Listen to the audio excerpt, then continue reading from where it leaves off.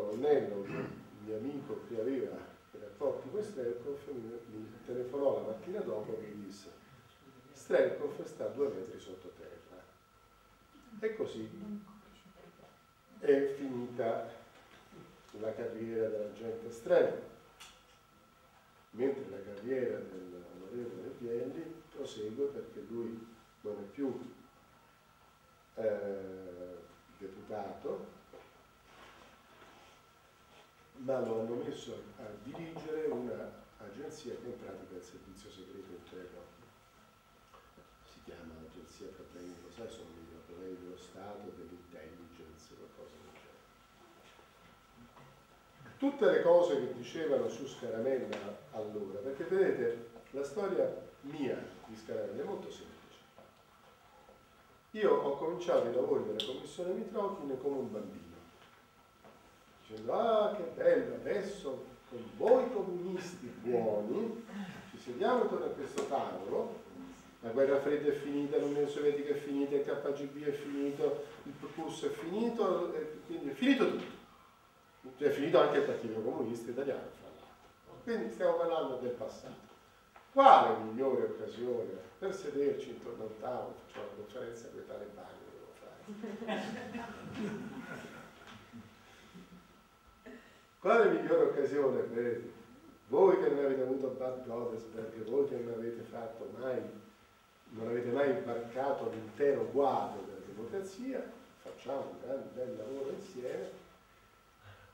E eh, qui non è questione di fare guerra fredda, anche perché poi è vero, il Partito Comunista Italiano ha avuto dei problemi gravissimi col, col KGB, perché il mezzo PC è stato algariato dal KGB e anzi eh, Berlinguer cercarono di farlo fuori in Bulgaria con Kossuth che lo mandò, lo mandò per forza in Bulgaria, perché aspetta in Bulgaria, deve andare in Bulgaria, cioè, è bellissima quella storia. La sai, no? 1974. E, e, e, e, poi me lo raccontava anche la figlia di Berlinguer, dice papà non voleva assolutamente sapere di andare in Bulgaria, ma Kossuth dice guarda facciamo una figura di merda nel Bulgaria, andare dappertutto, ma non vai a morire 13 mila, in Bulgaria non sa, tanto fecero che ho comprato un sacco di fiori, cioè. lottizzato. Naturalmente gli fecero trovare il classico autotreno dietro la curva in cui morirono tutti tranne lui, perché poi morì l'autista. E Berlinguer, cosa che non si sa, fu sua propria richiesta, recuperato all'istante con l'operazione di comando del, dei servizi segreti italiani, allora non era, non era il SISMI, c'era ancora il SID, perché si presentò un gruppo di valorosi a mano armata che piombò come James Bond sull'ospedale nei dintorni di Sofia dove avevano ricoverato il compagno Berlinguer se lo impacchettarono e lo riportarono in Italia, perché se no andavano sistemato. Quindi di lì il mio atteggiamento infantile del primo anno e mezzo, più c'era stato il tentativo che fecero subito di fare un'operazione tipo scaramella, uguale precisa, ma ve l'avrò raccontato, l'operazione Zagami, no? Io stavo in America con mia moglie, i bambini, stavo a casa del mio socio che stava già male, poi sarebbe morto di cancro. Un anno dopo ero inseguito quotidianamente dalle telefonate di questo detenuto Zagami, Vincenzo Zagami, detenuto in un carcere francese, il quale mi faceva dei racconti strabilianti, meravigliosi, su come i soldi di Teleton Serbia che lui, Zagami, aveva portato come agente segreto con il Falcon eh, della Presidenza del Consiglio con un giro eh, e poi erano stati dati sotto la scaletta dell'aereo dei sei pacchi di un miliardo l'uno in valuta a Fassino e a eh, un certo onorevole Barbieri. Era ovvio che era una patacca, era una provocazione e che volevano spingermi a scrivere questa cosa per poi saltarmi la gola. Io non metto così lei ha le prove di quello che dice, questo riuscì a mandarmi un fax da Bari, Francia Bari tipico, con praticamente una ricevuta con, con le firme di per dire un miliardo, no? E allora io dissi a questo, guarda, stia, stia bene nella, nella galera in cui sta. Poi dopo ho saputo dal Sismi che era stata un'operazione dei servizi francesi di allora, siccome per prima cosa scrissi al presidente Trantino, che è il presidente di Telecom Serbia, gli scrissi una letterina dicendo, caro Trantino, quel tale che voi cercavate, perché questo prima aveva dato, si era presentato con un altro falso nome, dicendo sempre questa storia dei sacchi di Utah, però una volta non aveva parlato di politici. E loro, la Commissione Telecom Serbia, insomma, cercavano di sapere chi era questo. E io eh, mandai una lettera dicendo, caro Trentino, questo è un mascalzone, un provocatore, comunque ti posso dare le vere generalità che ho cercato, si tratta di tal Vincenzo Zero. Mando questa lettera e per scrupolo la do anche alle agenzie di stampa, sicché la sera stessa, di, di quel giorno di settembre del 2002, eh, tutti i giornali hanno la, la, notizia di agenzia che io ho eh, detto a Trentino di questo Zero.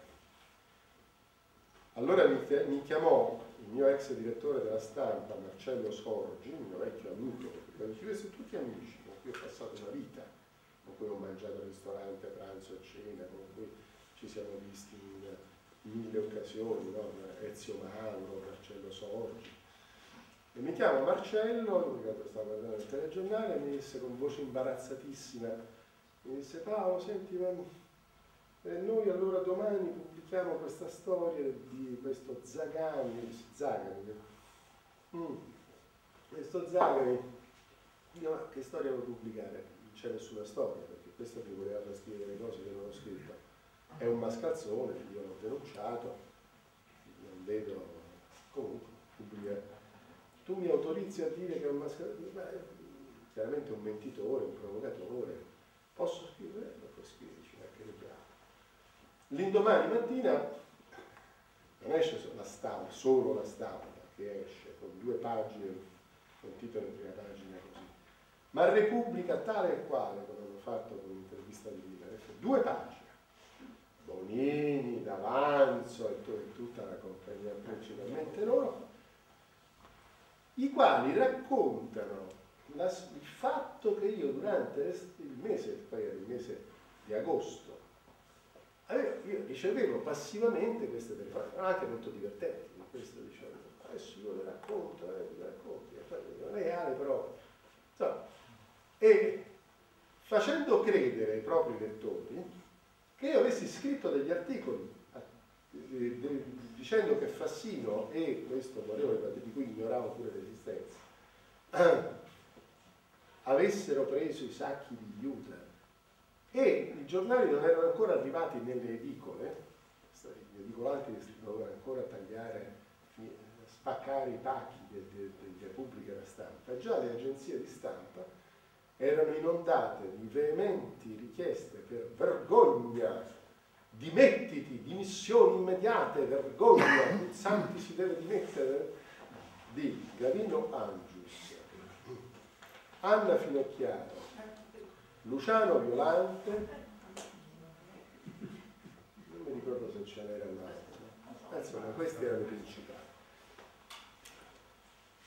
E io anche in quell'occasione sperimentai quanto sia inutile trovarsi dalla parte del bene, del vero, che uno sa come sono andate le cose. Buonasera. A lei buonasera. Grazie. Grazie a lei. Ah è perfettamente inutile. E tu stai... A chi lo dici? A chi lo racconti? Sì, lo raccontavo sul giornale, eh? lo leggeva il direttore del giornale, lo diceva l'agenzia, lo diceva, tanto non lo pubblicato. E quella fu la prova uguale, identico all'intervista di Pipanesh. Tal e qua. Naturalmente lì col moltiplicatore, del eccetera.